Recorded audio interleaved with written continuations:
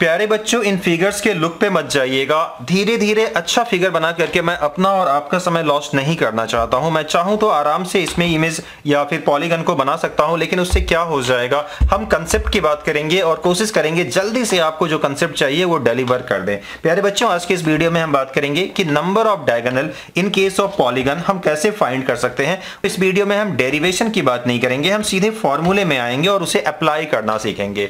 बच्चों, जो फॉर्मूला हमारे पास पास है वो ये है n n minus three by two इस फॉर्मूला को यूज़ करके नंबर ऑफ़ डायगोनल आप आसानी से फाइंड कर सकते हो। चलिए बच्चों, मैं इस चीज़ को वेरीफाई करके शो कर देता हूँ। जैसा कि आप जानते हो इन केस ऑफ़ ट्रायंगल कोई भी डायगोनल नहीं होते हैं। और ऑब्वियसली अच्छा बच्चों, यहाँ जो एन है ना एन का मतलब होगा नंबर ऑफ़ साइड्स कितने इसमें साइड्स हैं? तो ऑब्वियसली थ्री है ना?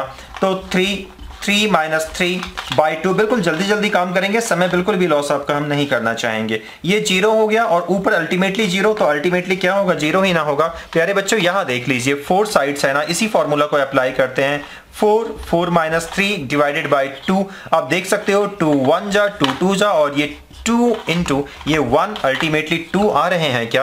आप क्रॉस चेक कर सकते हो, इस केस में दो ही डायगनल आएँगे। हालाँकि ये सब चीज़ आपको काफ़ी आसान लग रही होंगी, लेकिन जब साइड्स पाँच छह सात, आठ, नौ, दस होंगे तो वहाँ नंबर ऑफ़ डायगनल फाइंड करना, ये काफ़ी चुनौती भरा हो जाता है। बट इस फॉर्मूला के हेल्प से आसानी से ये काम आप कर सकते हो। बच्चों, ये देखो, ये एक पेंटागन है, यानी कि फाइव साइड्स है।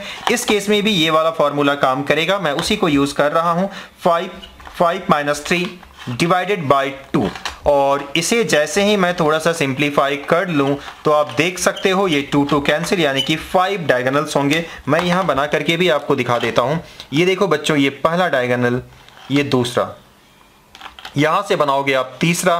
यहाँ से बनाओगे चौथा और ये होगा पांचवा। इस तरीके से फाइव डायगोनल्स आप बना सकते हो। बच्चों, इस वाले केस में आ जाते हैं। यहाँ भी आपको यही काम करना है। साइड्स जितने भी हो या कितने भी हो, उससे कोई फ़र्क नहीं पड़ता। फॉर्मूला आपको यही यूज़ करना है n n minus three by two और इस केस में ऑब्वियसली एन की वैल्यू कितनी होगी? One two three four five six six हो जाएगी। तो six into six minus three divided by two हमने लिखा। बच्चों राइटिंग पे बच जाइएगा। हम जल्दी जल्दी काम को कंप्लीट करना चाहते हैं।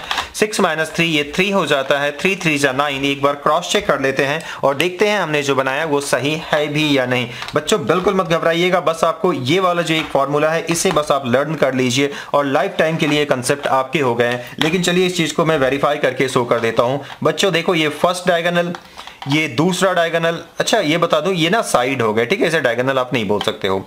ये तीसरा, इस तरीके से तीन हमने बना लिया टोटल नाइन बनेंगे ना। अब देखो, चौथा, पांचवा, छठा ऐसे बनाते हैं। चलो, इस वाले कलर को मैं यूज़ करता हूँ। तीन हो गए थे, ये चार, ये पाँच, ये छ उसके बाद किसी अलग कलर के पेन को लेता हूँ।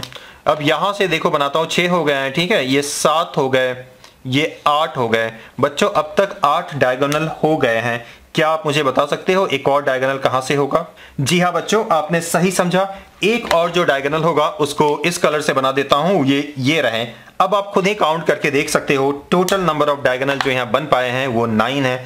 इसी तरीके से आप ऑक्टागन या किसी भी साइड कितने भी साइड्स आप ले लो, सब में ये एक फॉर्मूला को आप यूज़ करके नंबर ऑफ़ डायगोनल फाइंड कर सकते हो। किसी भी कंपटीशन में ये सवाल पूछे जा सकते हैं। अगर आप फिगर के सहारे रहोगे, यानी कि फिगर बना करके और काउंट करोगे तो आप उलझ करके रह जाओगे। इसलिए प्लीज़ इस फॉर्मूला को आप डेफिनेटली याद कर लीजिएगा। तो प्यारे बच्चों, फ़िलहाल के लिए इस वीडियो में इतना ही मिलते हैं फिर किसी वीडियो में, तब तक अपना ख्याल रखिएगा। Thank you